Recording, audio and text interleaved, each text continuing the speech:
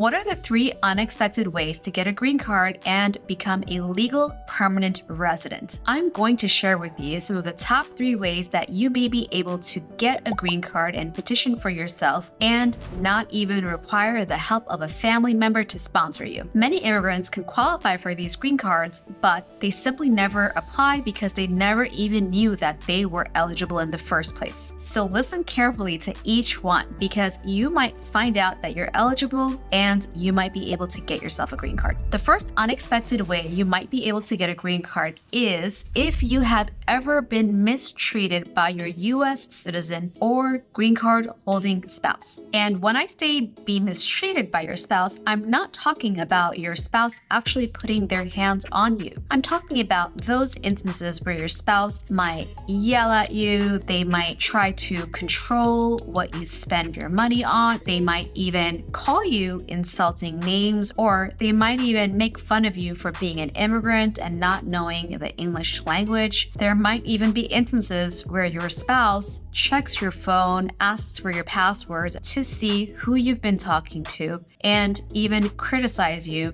or forbid you from talking to your own family members. Your spouse might even mistreat you by not actually helping you a file for your green card or taking too long to get you the documents that you need in order to file your case. And lastly, your spouse might mistreat you by threatening to call immigration on you and get you deported or to call police on you and have you arrested. If you have ever been treated this way by your spouse and you are still without a green card, you may be eligible to file by yourself and get a green card without their help. If you are still married, this case can work for you. And even if you are divorced, this case may still work for you as long as your divorce is not more than two years old. This program is called VAWA. Most people think that VAWA applies applies only to women, but this is simply not true. VAWA is for anyone who has been in a marriage to a US citizen or to a green card holder who has experienced any of the mistreatments that I have just spoken to you about. As long as you were treated unfairly during your marriage, you may qualify for VAWA. You can file for VAWA by submitting the Form I 360 along with the required documents to USCIS. And if you do a good job in explaining how your spouse mistreated you, then you will get approved. You don't always need a lot of evidence or any evidence for this case. However, a well detailed statement from you to detail and document what you went through is extremely important. The second unexpected way to get a green card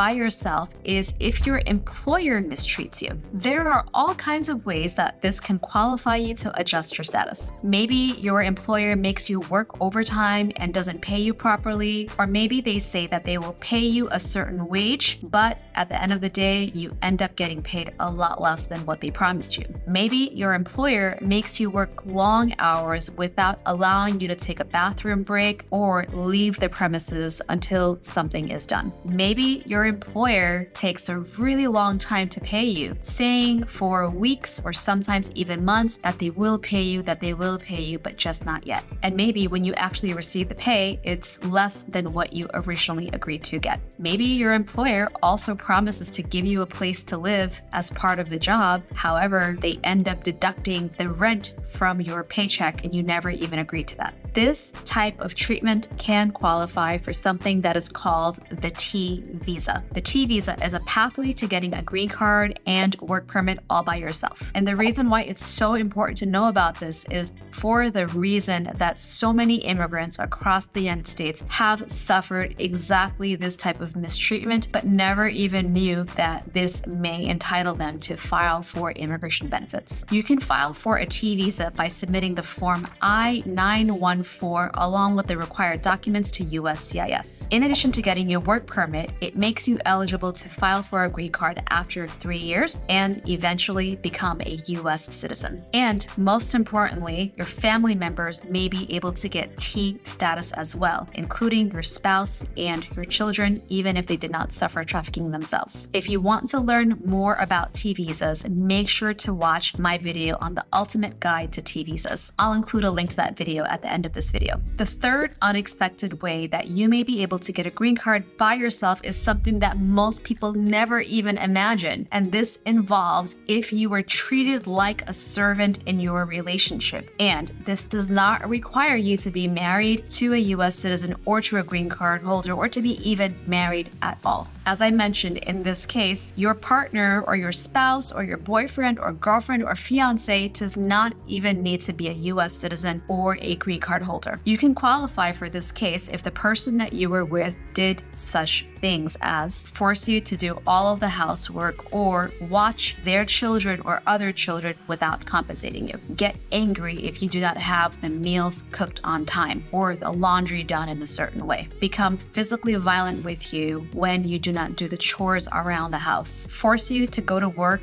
and force you to hand over the money that you earn to them. Believe it or not, these types of treatments can qualify you to file for a visa by yourself and be put on the pathway to citizenship. And this qualifies for a T visa even if this person is not technically your employer, because the key that we are looking at is whether this person forced you to provide services to them. If you think that you may qualify for any of these cases for a T visa or for a VAWA, the first step is to talk to a qualified immigration attorney who understands the nuances of these cases. You will want to get help from an experienced immigration attorney before even applying. Most people will need help in preparing the evidence for these cases. I have successfully helped hundreds of immigrants file for a VAWA and for T visas across the United States. If you would like to find out whether you qualify, please give our office a call at 212 248 7907. And if you want to learn more about T visas, make sure to watch my ultimate guide on T visas. In this video, I'll explain what a T visa is and who may qualify and how to apply, and what you can do in order to increase your chances of getting approved. I'll include a link to that video here. Click to watch this video next, and I'll see you there.